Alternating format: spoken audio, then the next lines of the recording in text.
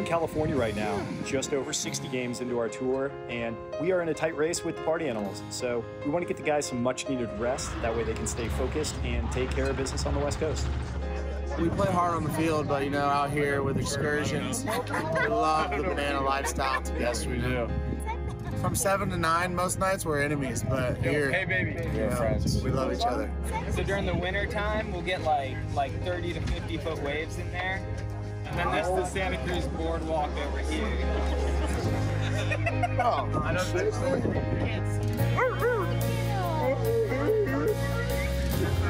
Oh, bloomer.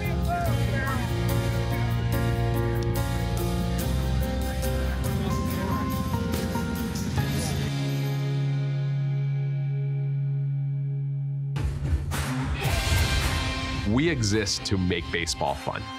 That's where everything started. So Banana Ball was born. This is Banana Land.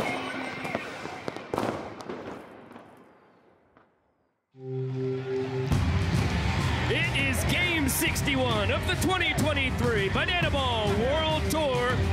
The first ever game in California. We come to you live in Rancho Cucamonga. The Bananas claimed the first game in Rancho, tying up the series with the Party Animals at 22 wins apiece. On night two, the Nanners had special guests, former major leaguers Brett Tomko and Josh Reddick, as well as Kenji Sugiya of the Nippon Professional League in Japan. After a riveting nine innings, Ryan Cox secured the win with a miraculous 99th trick play on the tour and gave the Bananas their first lead over the Party Animals since opening night.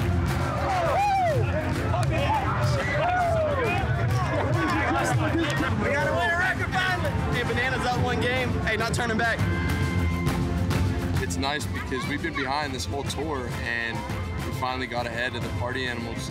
Just goes to show that it's a long tour and, and anything can happen when we're out here playing banana ball.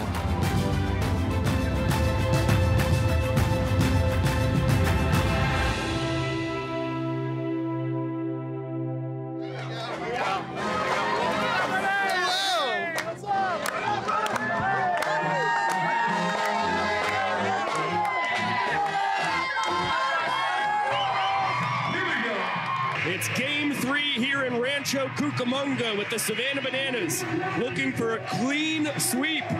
All eyes on Ryan Cox. Only one trick play from becoming the first player in Banana Ball World Tour history to triple digits, the big 100. This one is going to be bounced under the diving attempt of Danny Hosley. There it is! The 100th trick play on the tour for Ryan Cox, the glove magician.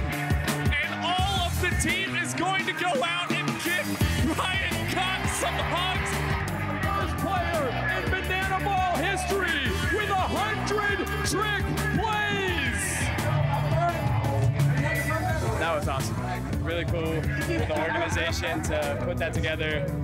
Can't really wrap my head around it right now. All I'm focused on is hopefully seeing these fans have three wins.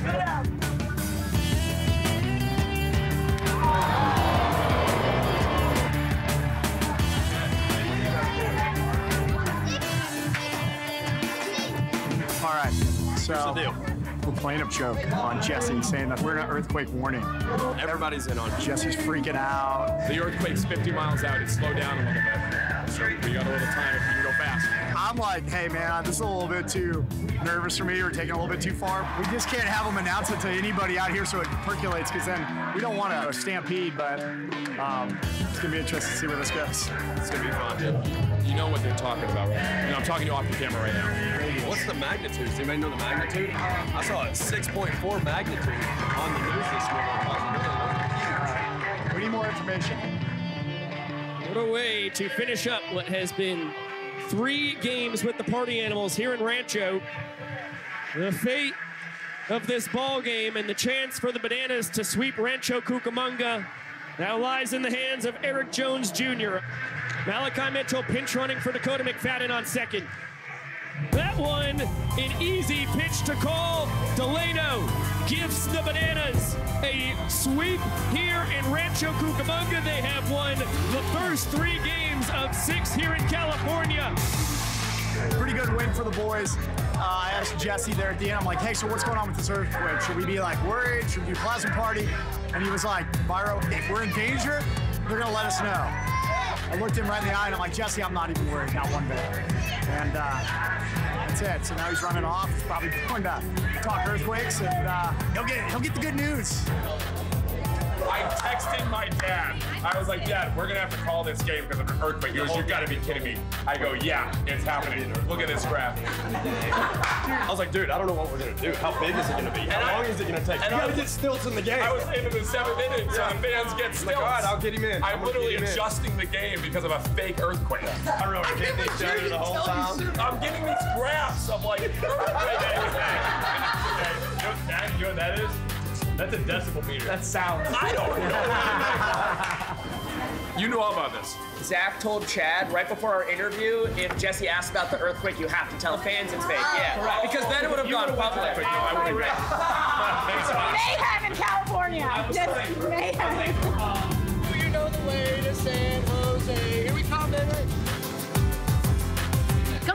California Live, the temperature is not the only thing that is heating up here in San Jose because we've got the hottest thing in sports. It's the Savannah Bananas.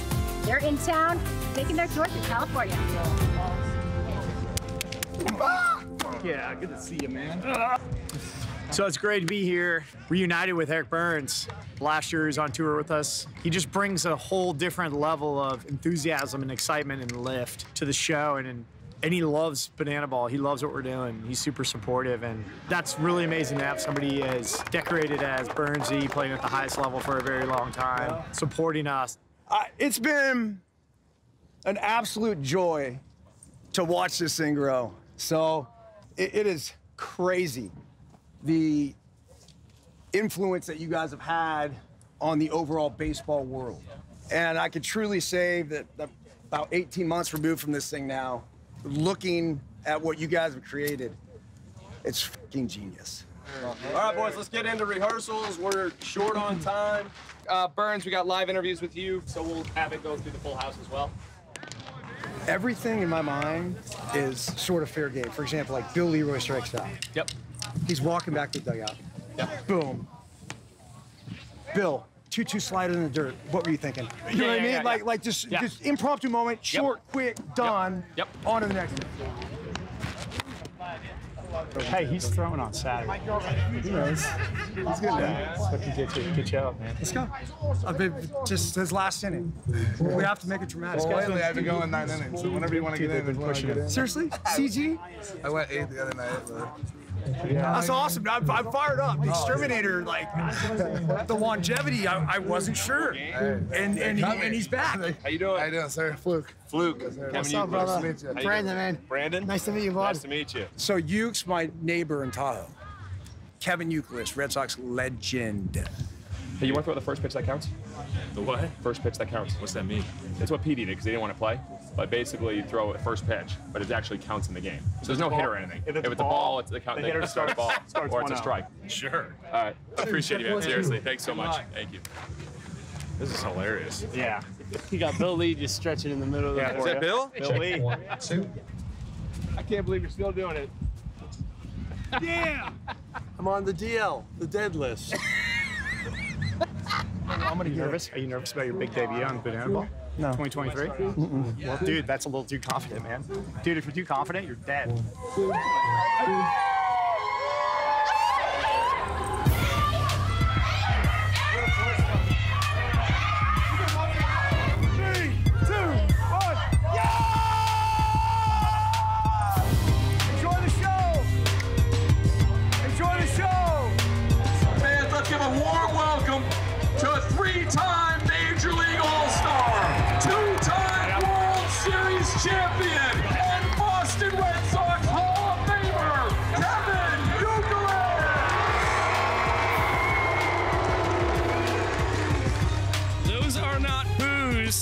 Coming from the folks here. Those are yous. And he just misses the inside corner. It will be a 1-0 count on Reese Hampton to start the ball game. So we welcome in as special a guest in the booth as we have ever had. It is Mr. Eric Byrnes. Dudes, I've missed each and every one of you. I, I don't even know what to say about that dirt squirrel you got perched on your upper lip. But it is it's an honor to be in the booth with you, man. It's so glorious. Uh, throw down to second. And Oh! final. What a pop slide. He evades the tag from Dalton Malden. He's in there. That was incredible. Let's take another look here. I guess he just popped off to the left and he's safe. And now you got the leprechaun up. Justin Baber, the second baseman, lines that one into center field. Lido getting the wave around third. Throw from DR Meadows comes into second. And the Party Animals up one in the all important points category. Now lead the second inning by a run. And here we go, boys. Ball driven deep. It's gonna be over his head. Is it out? See ya! Oh, oh Barry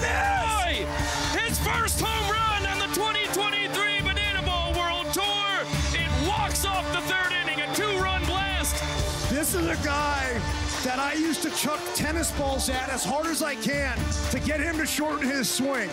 Endless hours in the batting cages. I'm so freaking proud of him. That was crunch, Smoke.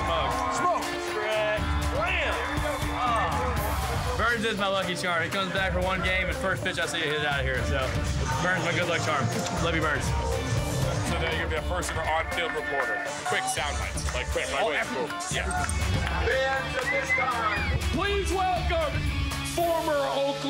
Star and former Savannah Bananas head coach, Gold Glove Award winner, Eric Byrnes. He's going to be the first ever on-field reporter. Actually, on-field Burnsy. Here we go. Hello, San Jose! Yo, I spent last year in Savannah, and for us to be able to bring it back here to you is a special night for me. We'll have some fun with this in-game broadcasting, but how are you guys enjoying it so far? Do you know Cox got his 100 trick play yesterday? Yeah, you heard about that? Insane. I was watching it the other night. So this is Joe right here, right? Oh, Got him. How about that? Here, here, here. Get him.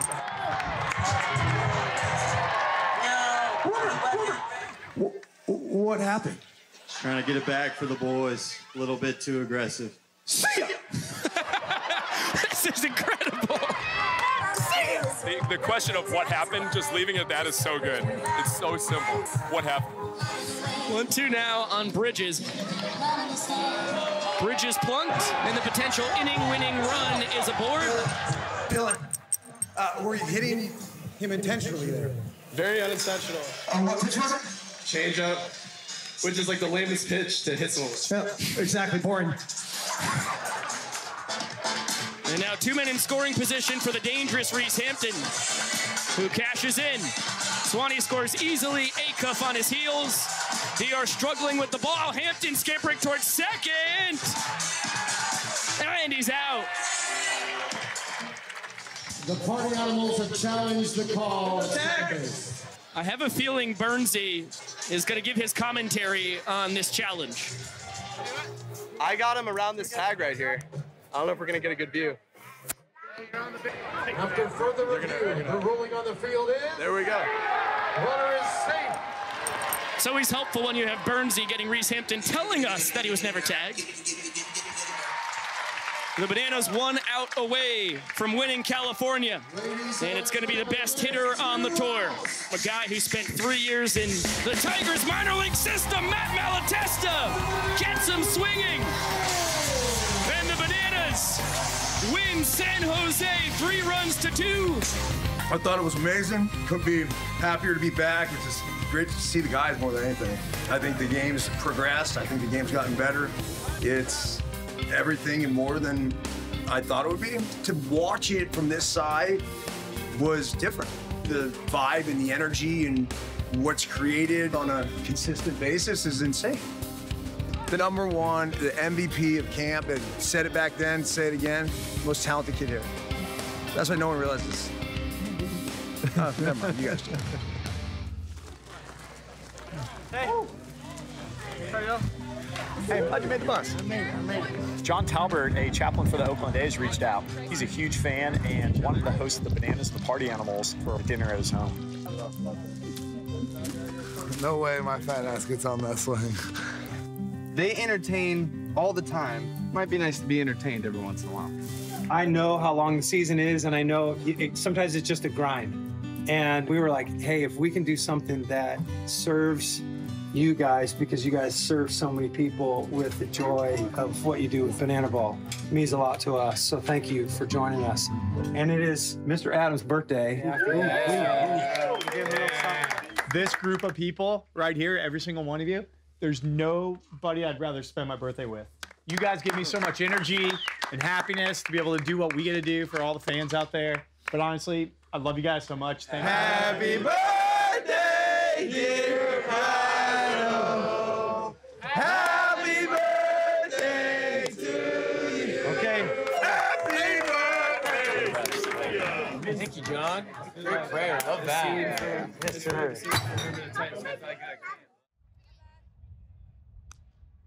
Being with the Bananas somewhat at the beginning of the World Tour stuff, it's kind of like watching a kid grow up, I guess. And it's pretty cool to see this growing up in a hurry. The 35 and 25 bananas looking for a clean sweep of California. Sacramento, another sold out crowd. I think we had 13,000 plus. Super enthusiastic, energetic. We had Eric Byrnes join us again, Josh Reddick, and Hunter Pence. Fans, now coming to bat, riding in from left center field, a four-time Major League All-Star and a two-time World Series champion from your San Francisco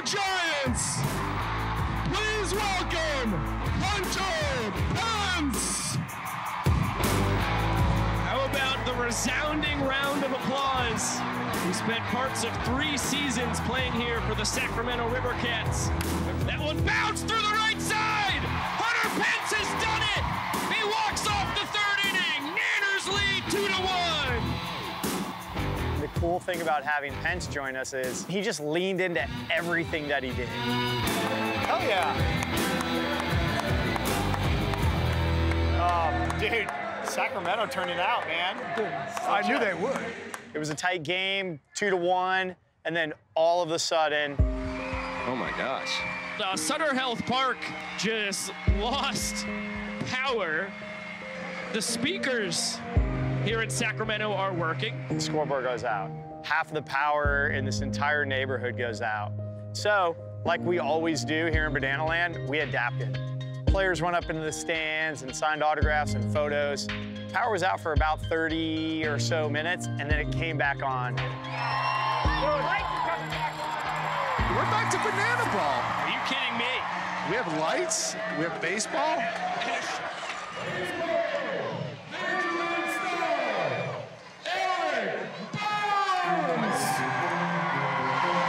That's a great way to resume our banana ball game.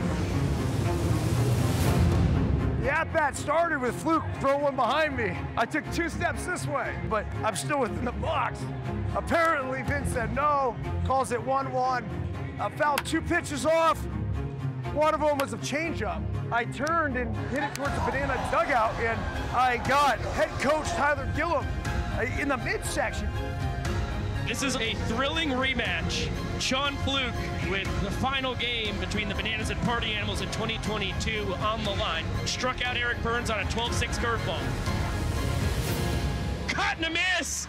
Sean Fluke owns Eric Byrnes. Oh my gosh. Byrnes is not happy about it. Sean Fluke's just laughing it up.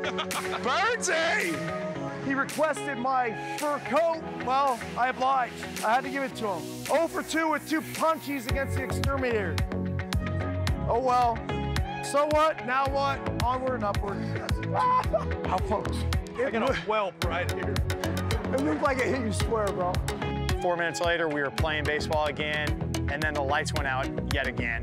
So uh, we finished with yellow and our grand finale, and then just finished our plaza party.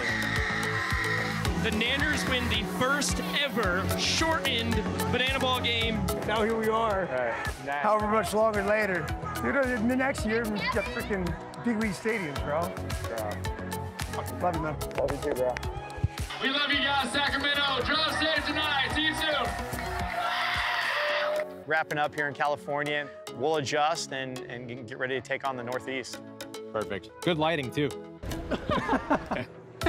What's this been like for you, this journey? We've been coast to coast, now here after 70 games to be in New York City. People from all over the country are traveling to see this little small team we started in Savannah, Georgia, so it's pretty special. One, two, three, showtime!